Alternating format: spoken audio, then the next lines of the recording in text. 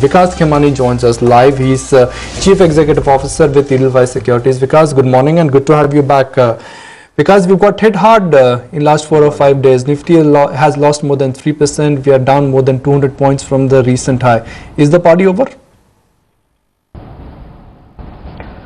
I think because after a, such a sharp rally, uh, I think this kind of consolidation bound to happen, uh, given the fact that I think uh, a uh, you know uh, uh, still on the ground action is yet to be seen, or you know improvement in data is yet to be seen. And secondly, I think from international side, you know there again talks have been sort of resurfaced on the uh, QE taper. So I think these two things factors are right now sort of putting market in a sort of corrective or consolidation phase and I think after such a sharp rally it is always sort of uh, expected. So I think we are in that phase and I would tend to think that you know given the fact that this month there are not many triggers I think you know next trigger is only in form of you know, state election outcomes. And I think that would probably bring some more uh, you know sort of uh, action to the market. But I think you know there are no major triggers at this point in time and the, international news flow also sort of uh, slowing down the flows towards the market which was driving the market way up. So I think you know in, in light of this I will think that you know markets will sort of uh, uh, consolidate around these levels. And maybe you know if the rupee continues to depreciate uh, the way it has in the recent past uh, and I think one has to see how sort of uh, where it finds some sort of support or uh, you know uh, how, how low it can go.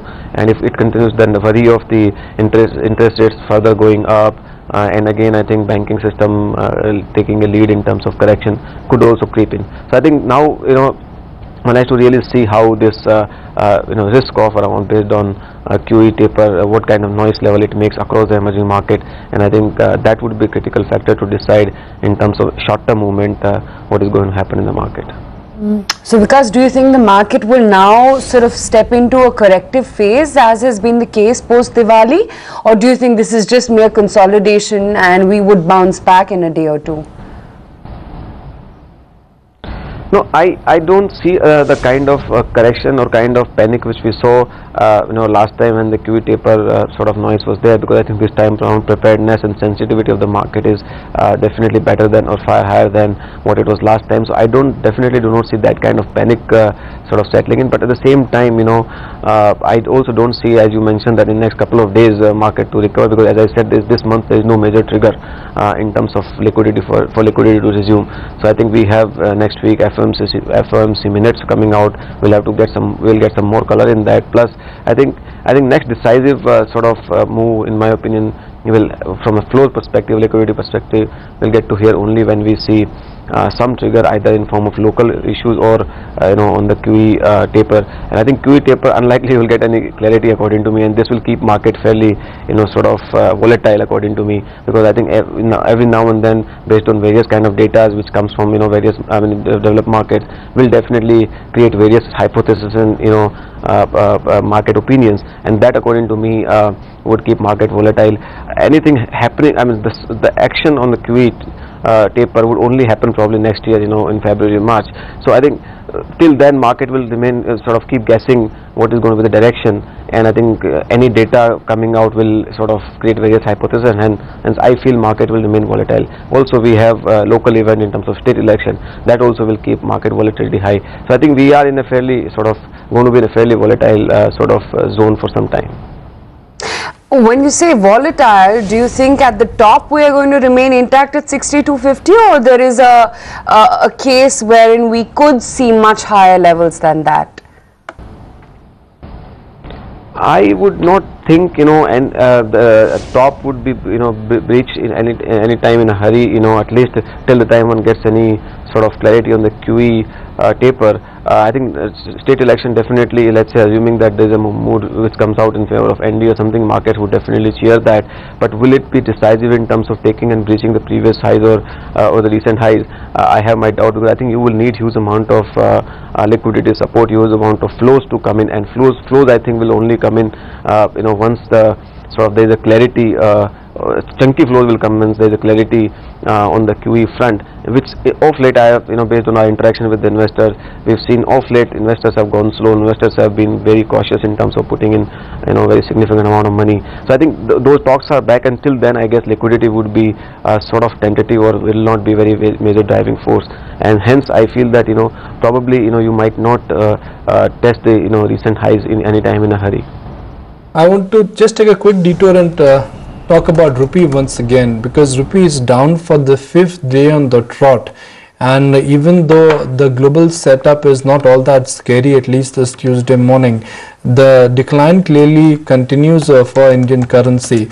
Uh, you could blame it on uh, global adjustment on fear that tapering could be advanced or simple profit booking. The bottom line here is that rupee now is trading way below 63 and it is now threatening to go below 63 and a half. Because do you think we should not worry about uh, foreign flows?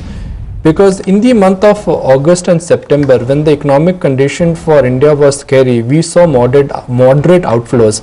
And if I look at the behavioral finance of uh, behavioral pattern of what foreigners have done to in Indian equities, they have bought into Indian equities irrespective of the environment. I think see they they have been you know reasonably uh, good buyers in Indian equities and based by largely I think you know post uh, I think after uh, the QE worries in the last uh, in the last time got over I think we saw significant amount of ETF flows coming. And I think in that we saw a fairly good amount of money coming in and I think that was uh, what drove the market from 53 5400 levels to 6000 levels. And I think you know the question is that whether that will continue or not.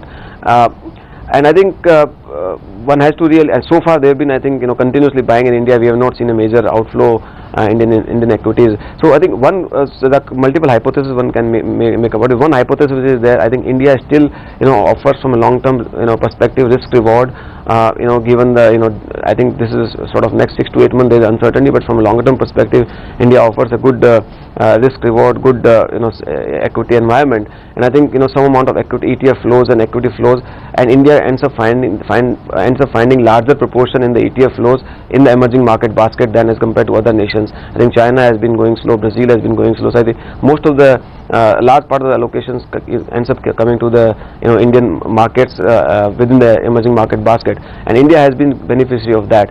And we hope that it continues to remain that. Should that not happen I think definitely there will be uh, pressure on the currency uh, no doubt about it. And I think also not that not to say that uh, while numbers have been improving but still structurally we have to see how we address our current account deficit. It has been improving, export data has been improving, but I think it takes time for industry to adjust, new capacities to come and you know trade to adjust. So I do hope that you know in next you know sort of uh, uh, three to six months our export uh, really become robust. Then I think uh, some amount of improvement happens on the current account deficit for us to sort of be less dependent on the on the you know uh, portfolio flows. Because I think more you are dependent on portfolio flows, it remains very susceptible to kind of volatility and uh, you know uh, uh, tentativity which we have seen in the past.